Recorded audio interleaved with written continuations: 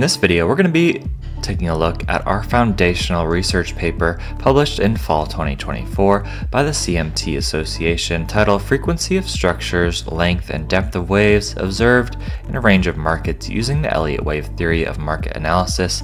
This paper is available to the public on the CMT website and also available on our website, pureelliottwave.com.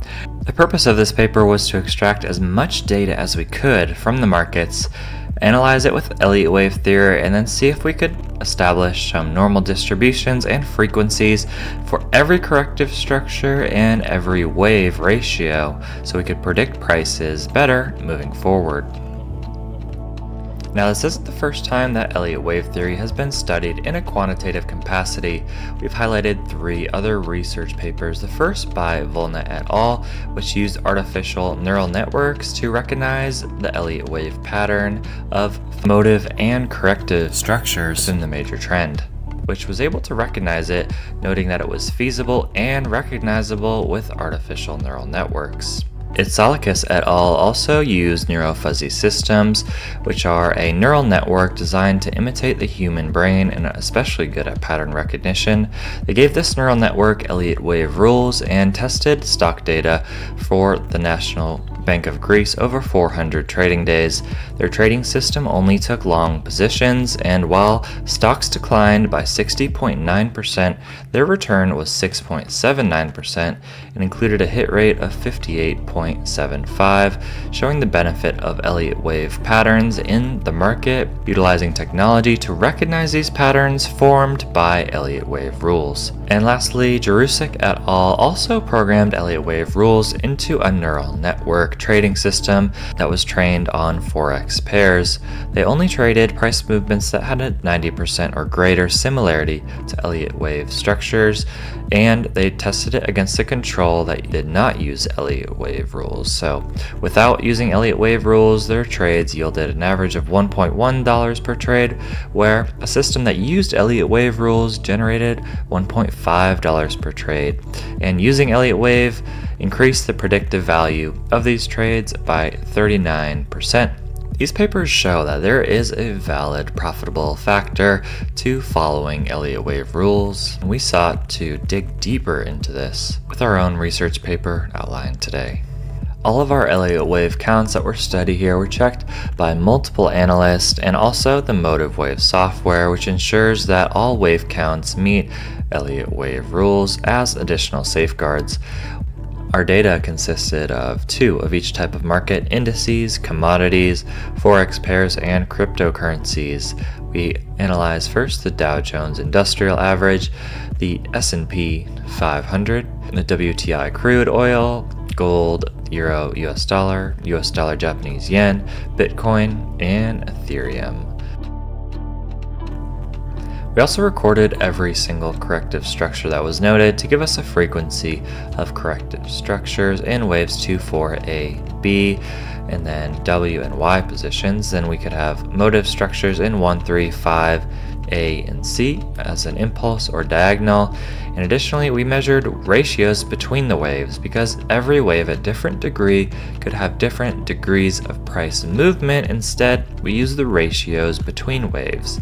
For instance, how much does wave 2 retrace versus wave 1? How far does wave 3 go in relation to wave 1? And this is done to test core assumptions made by Frost and Prechter when writing the Elliott wave principle. We tested, will wave 1 most commonly subdivide as an impulse? Will wave 2 most commonly subdivide as a zigzag? This is noted in the book, The Elliott Wave Principle. Wave 3 will most commonly be 1.618 the length of wave 1. We tested that as well. We also tested that wave 4 will most commonly subdivide as a flat triangle or combination, Wave 5 will most commonly subdivide as an impulse, and wave 5 will most commonly exhibit an equal length to wave 1. Is that true? We'll find out in just a moment. Other core assumptions that we were looking to test was the probability of each corrective structure, the probability of each motive structure, the most likely length of waves 3, 5, and C to previous waves so we could predict future price movements, and the most likely depth of corrections in wave 2, 4, and B to prior waves of the same degree, so how deep is a correction likely to go in that counter trend movement.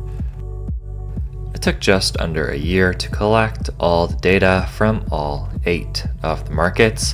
This yielded over 8,400 waves that were measured, and from those 8,400 waves, we had over 56,000 ratios of price movements within the Elliott wave structure.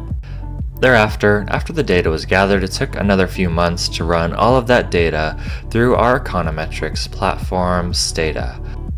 All of the results were then cataloged into the research paper in summary tables showing eight columns for the eight separate markets and one additional for all of the data combined.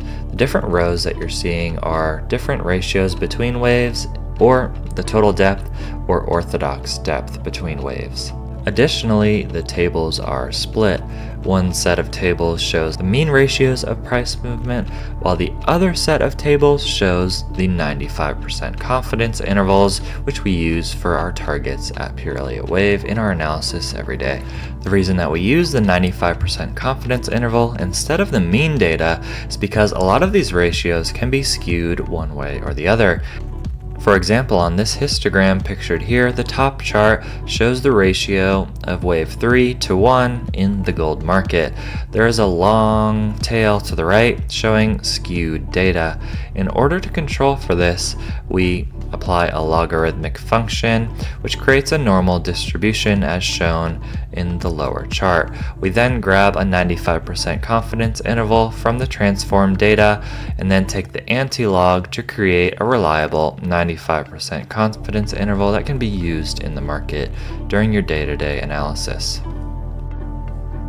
Our results show very clear, concise, normal distributions across the markets. And the reason that these normal distributions or that really good bell-shaped curve is important for these results is that it gives your analysis using Elliott wave theory predictive power.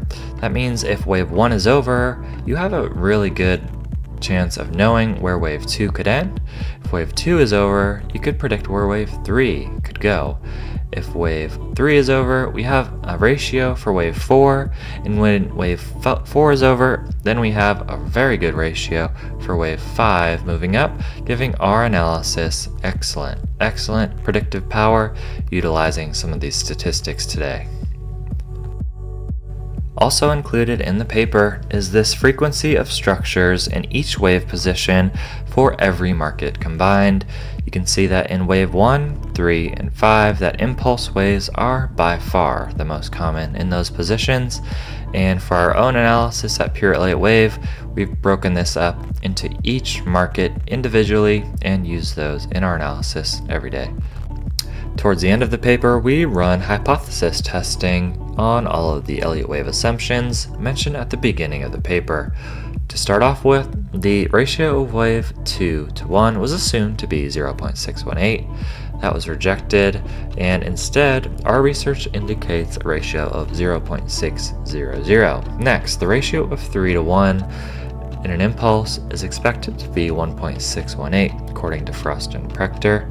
Instead, our research indicates a ratio of 1.889 to 1.967 across all markets. Next, the ratio of 4 to 3 is assumed to be 0.382. And we also reject that. We found a significant ratio of 0.320 to 0.329, suggesting a strong correlation of price to this range in wave 4 positions. Next, the assumption was previously that wave 5 to 1 would be equal. We instead show a mean ratio of 1.1 and we reject that equality. So we found 1.1 to be a better ratio for 5 to 1. Next, the ratio of C to wave A is assumed to be 1. We found that to be true as our ratios indicate wave C to A is usually 0.991 to 1.032. In conclusion, this paper shows that Elliott wave theory, when meeting all Elliott wave rules, can provide reliable price targets for a range of different markets. It's this exact data that we use at Pure Elliott Wave to make high probability price predictions that you see here every week. Click below to visit pureelliottwave.com and see our analysis and Elliott Wave courses, and of course, we'll have the research paper linked below as well.